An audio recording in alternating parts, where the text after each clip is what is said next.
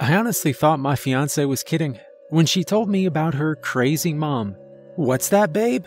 You're the daughter of a 500 year old witch, and she set you up in an arranged marriage to Beelzebub, one of the seven princes of hell. Shit, I hate it when that happens. 48 hours later, we were hauling ass down the interstate in a beige Saturn coupe. Me at the wheel, getting tailed by my prospective mother in law, Agatha, who transformed into a werebat in desperate attempt to stop our wedding. Alex was in the passenger seat, frantically punching our destination into Google Maps.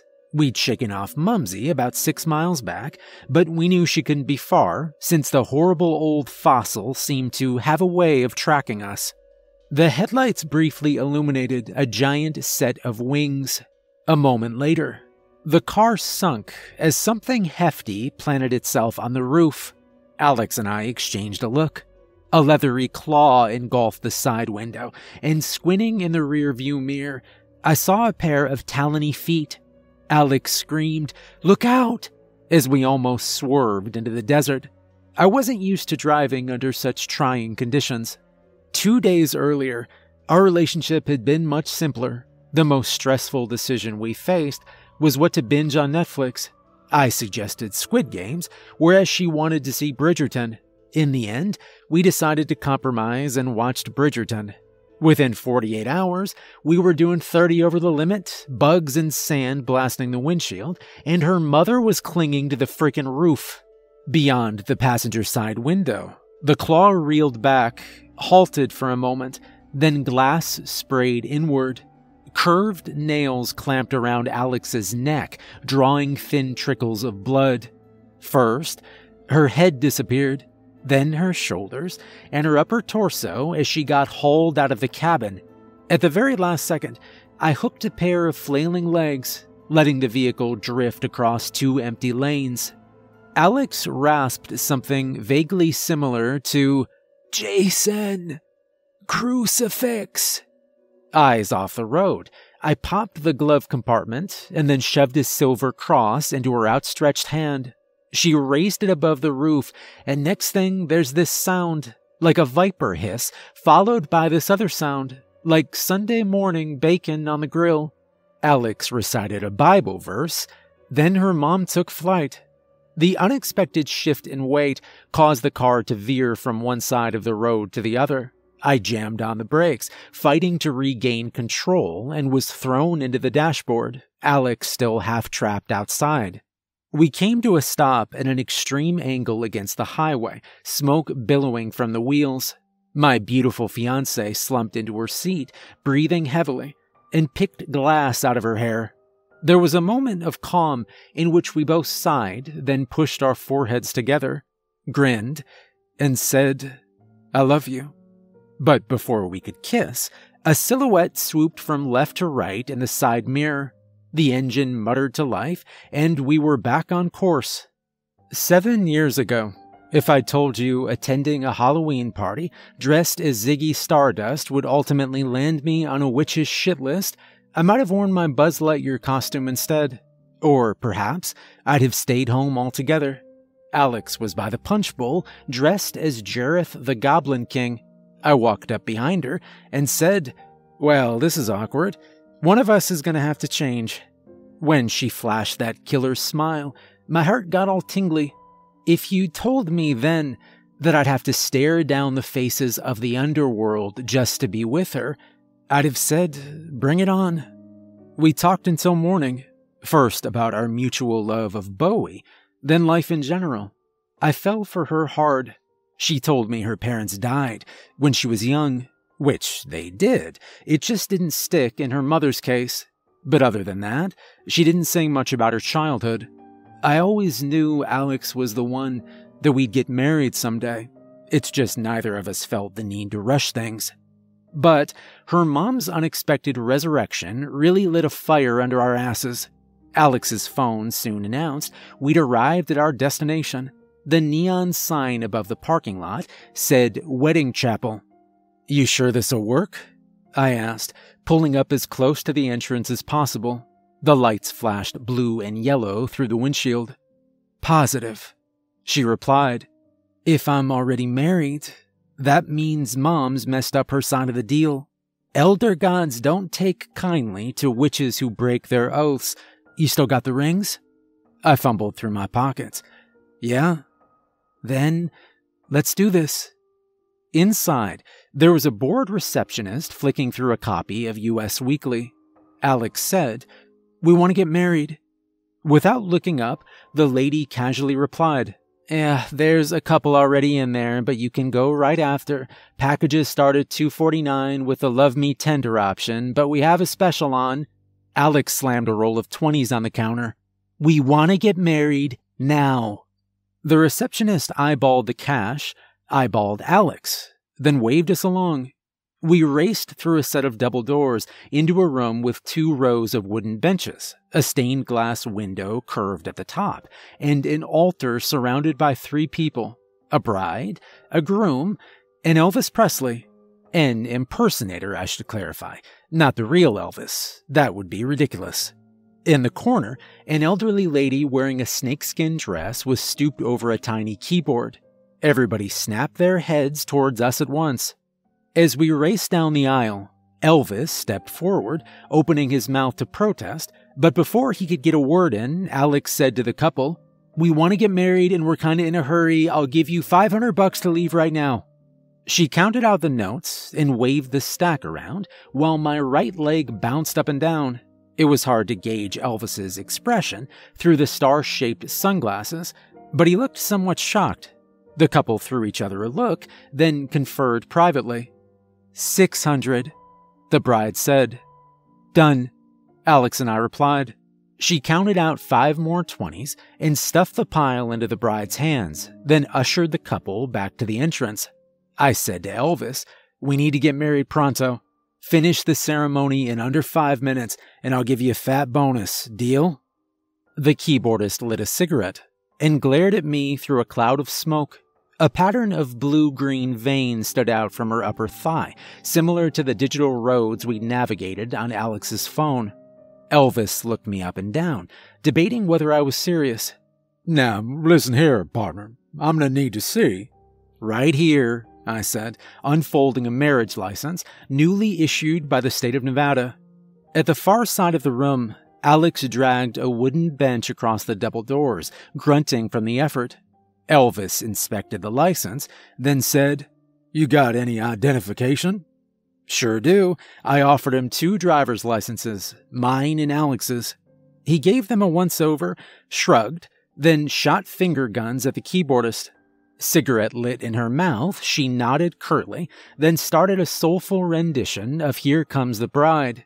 I leaned close to Elvis and said, Whatever happens, don't stop the ceremony. Oh, ho, ho, ho. He replied. Alex, having zero interest in absorbing the magical moment, bolted down the aisle to join us at the altar. Elvis raised his hands in a gesture resembling the Nixon peace symbol. Well, here we are in the City of Lights, Las Vegas, Nevada, gathered today to celebrate. Uh, King? Alex interrupted. Could we maybe get the abridged version? Hey, you got it, little missy. He gyrated his hips. After double checking my license, Elvis said, Jason, please take. He double checked Alex's. Alex, by the hand, look her in the eyes and say, Jason, take thee, Alex, to be my lawfully wedded wife. I looked into her eyes, those shining emerald eyes, feeling her rapid pulse between my fingers. As I repeated the vows, she chewed her lip, the way she always does when she's anxious. Elvis continued his spiel, only making it so far as, to have and to hold, before a sharp hiss coming from behind the window stole his attention. Hey, King, if you want that bonus, you gotta do this fast. Let's go, chop chop. Oh, to have and to hold from this day forward. Another shriek, louder than the first. Have and hold from this day forward, I repeated. In sickness and in health. Sickness and health to love and to cherish, love and to cherish, till death do us part. Till death do us. Before I could finish, a huge silhouette suddenly filled the window. Then Agatha exploded through the glass, claws poised, and glided straight towards us. Things were about to get wild. Elvis dove beneath the altar as the keyboardist lit cigarette dropped out of her mouth. I don't think either of them had ever seen a werebat before. My soon to be mother in law, Agatha, circled above our heads, periodically swooping down to attack. There wasn't much Alex or I could do, besides windmill our crucifixes. The keyboardist made a desperate, foolish break for the exit. But before she'd even made it halfway, Agatha nosedived and sunk her claws so deep into the lady's shoulders, the ends disappeared, then carried her, kicking and screaming, through the shattered window. Don't stop! I shouted at Elvis, who was holding his knees against his chest. Finish the ceremony, dude. What, what are you nuts? He replied, his voice shrill and distinctively un Elvis like. He whipped his gaze between me and Alex. What the hell is that thing? Alex said, That's my mom, and I guarantee you she's coming right back unless you. Agatha glided back into the room and dived for us. At the very last second, Alex's crucifix went up in a shining arc and her mom veered off course. She spun onto the floor, crashed through several rows of wooden benches, and finally collided with a far wall. That won't keep her down for long, I said. Elvis swallowed a lump, then pulled himself up using the altar. Uh, uh Alex, repeat after me. I, Alex, take thee, Jason, to be my lawfully wedded husband. He spoke fast, barely leaving enough time for her to repeat the vows. To have and to hold from this day forward in sickness and in health, till death do us part till death do us part. He took a deep breath and closed his eyes. Then, by the authority vested in me, I object, said a voice. Across the room, Agatha's bat wings morphed into a black robe while her claws transformed into arthritic hands. With a simple flick of her wrist, she made the benches slide apart like the Dead Sea did for Moses. The temperature plummeted 20 degrees, or maybe I just imagined that. I grabbed Elvis by the popped collar and said, Finish it. The rings, he stammered. I fumbled through my pockets until I found the ring box and offered it up. A panic stricken Elvis frantically gestured towards Alex. She extended her right hand while still holding the crucifix with her left. With a little jiggling, I got the ring on her finger and said, I give this as a sign of our everlasting love, yada, yada, yada. Agatha raised her hands. Plaster and dust cascaded off the ceiling as a fierce gust of wind forced us to huddle around the altar. Alex grabbed the other ring and slipped it on my finger, quickly repeated the line. Then we both looked at Elvis. Then, by the power vested in me, with a simple pinching motion, the old witch made Elvis's mouth clamp shut. Then the crucifixes suddenly flew out of our hands, leaving us vulnerable and exposed. The horrible crow beckoned her daughter towards her. Gliding as if on ice, Alex was drawn straight into her mother's wicked clutches. Then she made Alex fall into an immediate trance with a prod to her forehead. While Elvis thrashed around, unable to pry his lips apart, I charged. Agatha mumbled a spell, which made my legs become limper than wet noodles, sending me tumbling onto the floor. There was nothing I could do. She was too powerful. Combining more Latin with grand sweeping gestures, she made the entire chapel quake. Light fixtures exploded around the room, framed pictures of Elvis danced on the walls. The stink of fire and brimstone engulfed my nostrils. And then, just a few feet before the altar, floorboards ripped apart, exposing a deep pit at a 45 degree angle. On the opposite side, far beneath the space where the floor had once been, there was an ocean of fire radiating an intense orange glow. And in the midst of it stood a titanic creature silhouetted behind flames. Judging from the outline, it appeared to have long, curved horns and the torso of a man. It was Alex's husband to be, Prince Beelzebub. Inch by inch, I crawled forward on my elbows until I was close enough to grab Agatha's robe. No, I muttered feebly. Please stop. She shot me a look of disdain, bent over, clamped an icy hand around my neck, and hoisted me into the air. Do you have any idea what you almost cost me? The tendons in her neck looked ready to explode. If you'd made me break my oath, I'd be facing an eternity of pain. Her soulless eyes glittered orange against the fiery ocean. The second this is done, you're coming with me. You'll be my new plaything. She pulled me so close, I could taste the stench of disease and death wafting out of her mouth. My guts clenched. Beelzebub reached through the pit towards our world, eager to collect what was promised. Can't do this to Alex, I said. Agatha's nostrils flared. Oh, and why not? I love her. Her mouth twisted into a grotesque little smirk. Please. Beside us, Alex's head was stooped against her chest, her glazed eyes, the color of egg whites, her face expressionless.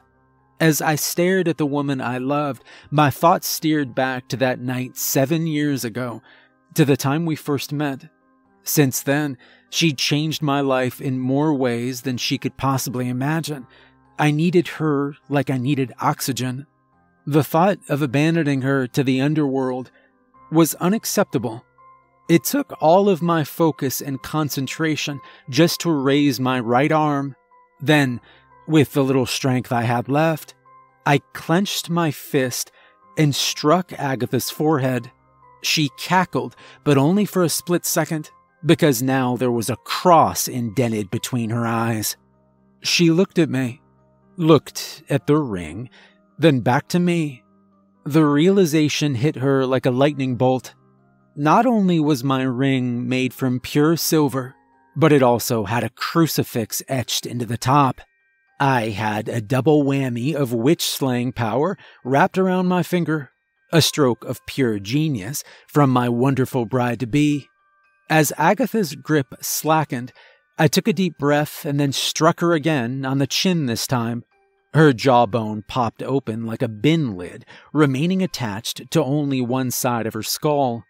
A mammoth hand, at least double the size of my Saturn coupe, pushed through the pit and almost broke through the ceiling, eclipsing the entire room with its wide shadow. I struck Agatha again. This time, a vertical slit opened, spanning from the crown of her skull to the bridge of her nose. She released my neck and hissed like a cat with a trampled tail. And then, with great satisfaction, I found my feet, took a step back, and Spartan kicked her into the pit. Be honest, who hasn't dreamed of doing that to their mother in law? The second Agatha vanished, Elvis made a loud gasp. Alex gasped too, as if waking from a terrible nightmare. Moments before, a colossal thumb and forefinger pinched her ankles together and dragged her in the direction of the pit. I lunged forward, grabbed her hands, and then we were both getting reeled into the underworld. Finish the ceremony, I said to Elvis, who was busy hyperventilating.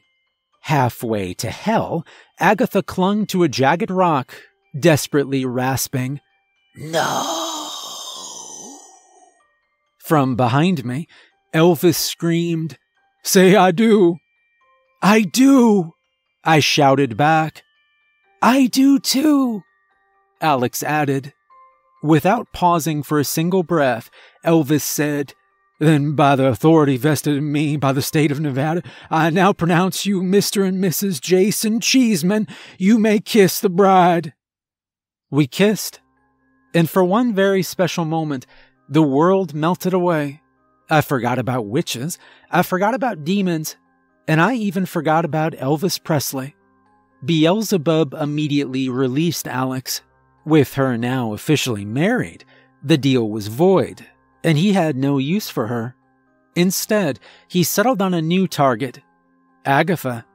I heaved Alex out of the pit, clear of danger. Agatha, knowing what was about to happen, tried to transform into a werebat and fly up, but she was just too slow. Beelzebub caught her, and then all I could see was a withered head poking out of a closed fist. Through her badly concaved mouth, Agatha spat sparks and flames as she was dragged to hell. As the pit sealed itself up, Alex and I stepped away, clear of any danger. The sound of Agatha's screams echoed through the chapel. The room trembled violently as the floorboards stitched themselves back together, and then it was over. The pit was gone. I kissed my wife. It felt so good to say that. My wife. Time moved dreamlike. We kissed again, and again and again, then six more times. I twirled her around, laughing, crying, savoring the moment. I never wanted it to end.